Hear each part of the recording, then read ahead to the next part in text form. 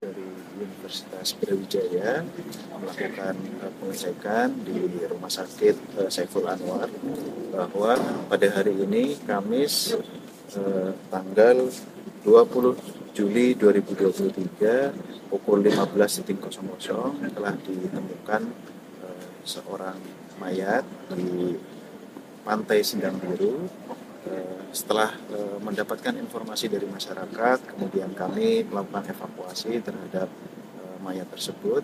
Selanjutnya kami langsung membawa ke Rumah Sakit Saiful Anwar. Tiba di Rumah Sakit Saiful Anwar sekitar pukul 17.30, kemudian dilakukan pengecekan dan observasi oleh tim dokter. dari hasil pengecekan, memang kondisinya tadi disampaikan oleh tim dokter tidak bisa diidentifikasi baik secara luar. Uh, terhadap uh, temuan mayat tersebut kami beserta uh, tim dokter dari Universitas Brawijaya akan melakukan uji DNA terhadap uh, temu mayat tersebut. Kami rencana uh, ada dua alternatif. Uh, yang pertama kami akan melakukan uh, uji DNA di Rumah Sakit Keramajati Polri dan alternatif kedua di uh, Rumah Sakit Universitas Airlangga. Kami masih melakukan koordinasi. Uh, kami ingin uh, memberikan yang terbaik, uh, mendapatkan hasil yang cepat dan akurat sesuai dengan legalitas yang diakui oleh internasional. Untuk DNA nantinya apakah juga akan melibatkan pihak keluarga atau sekitar penerbit dulu? Ya untuk uh, eh, DNA uh, eh, tadi uh, untuk pembanding ya khususnya karena harus ada pembanding.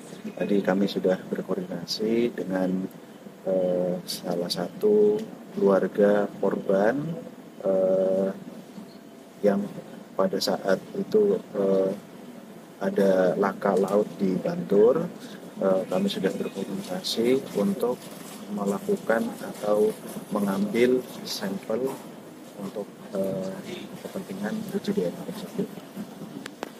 Jenis kelamin, kemudian ciri-ciri uh, secara khusus uh, tadi belum bisa dilakukan identifikasi karena memang kondisinya uh, sudah tidak memungkinkan untuk dilakukan identifikasi. Kalau semuanya uh, sampai dengan saat ini uh, untuk laporan lain khususnya terkait dengan laka laut uh, belum ada, artinya memang hanya ada satu uh, yaitu di jembatan panjang yang waktu itu kami gabungan beserta Basarnas, kemudian TNI, Polri, dan Universitas Brawijaya yang telah melakukan penyisiran dan pencarian.